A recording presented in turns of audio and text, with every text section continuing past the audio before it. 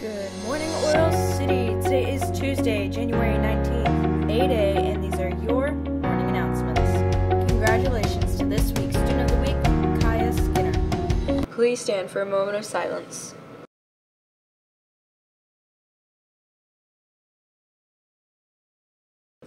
I pledge allegiance to the flag of the United States of America and to the republic for which it stands, one nation under God, indivisible, with liberty and justice for all.